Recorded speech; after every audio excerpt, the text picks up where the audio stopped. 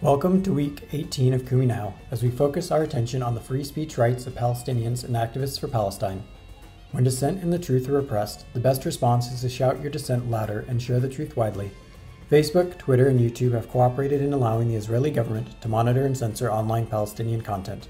This censorship has limited the ability of human rights activists and organizations to speak openly and legally under international law. And of course, there is no similar agreement allowing Palestine to monitor and censor Israeli individuals and organizations. As such, pledge to share at least one piece of well written, eye opening Palestinian reporting or one of the articles or reports listed in the additional resources section of this entry on the website each day this week. If you are unsure as to which news organizations routinely produce legitimate journalism for Palestinian journalists, you can start with any of the news organizations listed here. Links are below the video. And of course, you can subscribe to and share our podcast, On the Ground for Palestine. It is available on YouTube, Spotify, and wherever you get your podcasts. Links are below the video. When you share these articles and sources across your social networks, include a link to this page of the Kumi Now website, along with the hashtags Kumi Now and Kumi18.